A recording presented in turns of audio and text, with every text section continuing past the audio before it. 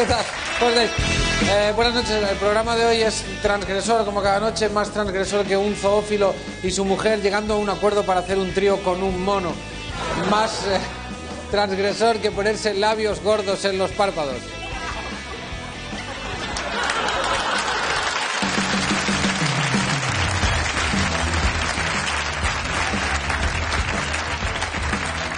Eh, muy transgresor. ¿Se sabe cuándo se emite? Hola, estoy aquí. Eh, En el otro plató. dime, dime, dime, dime. Son platos contiguos, ¿verdad?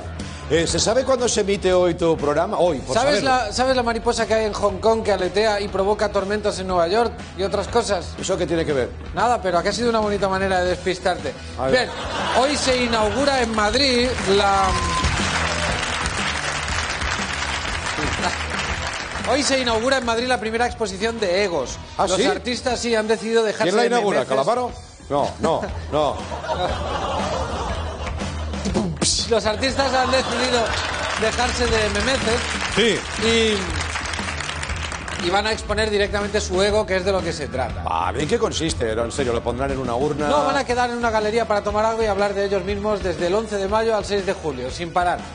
¿Vale? Una cosa, si vais, prenderles fuego, de mi parte. ¿Alguna cosa más? Sí, sí, Paul McCartney. Paul McCartney, el legendario ex Beatle que ha tocado ya todos los palos pop, rock, clásica, electrónica, presenta por primera vez un disco de Jotas. En, en primicia. Paul McCartney, Javi Roa. Eh, piensan que ha elegido, mucha gente piensa que ha elegido grabar Jotas por John Lennon, que se escribe con J.